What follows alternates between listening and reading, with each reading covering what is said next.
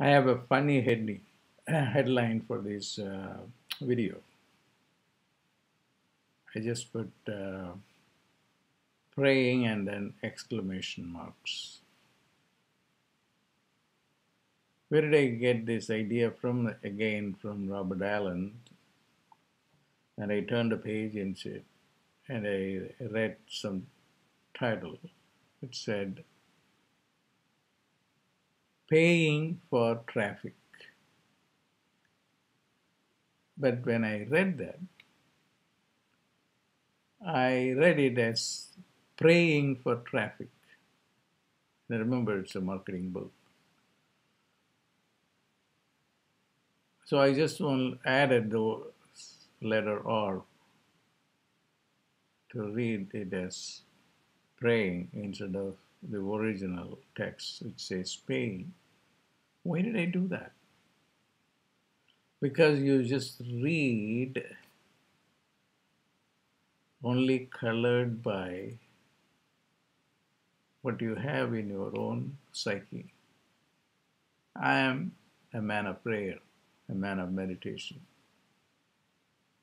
So, although the word that is out there is, is only paying for traffic, I understand it as praying for traffic.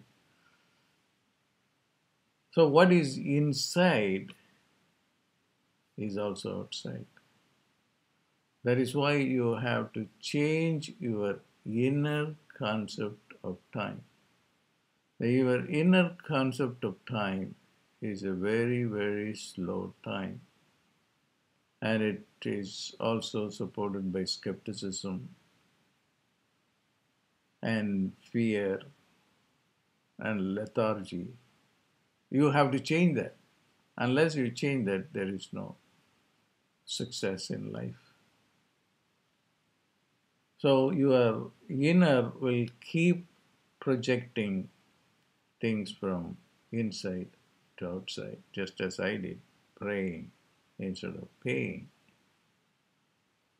And uh, what most people do uh, project is negativity.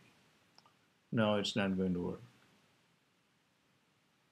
I'm going to stay the way I am till I die.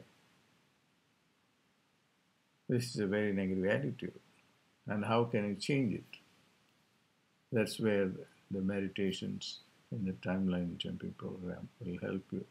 Because it will help you to move your energy from your past memories to the now.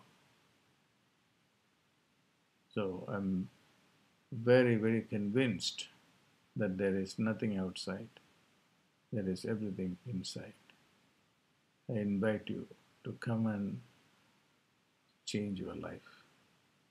If you stick to these techniques and the theoretical framework that I am offering, it will change your destiny.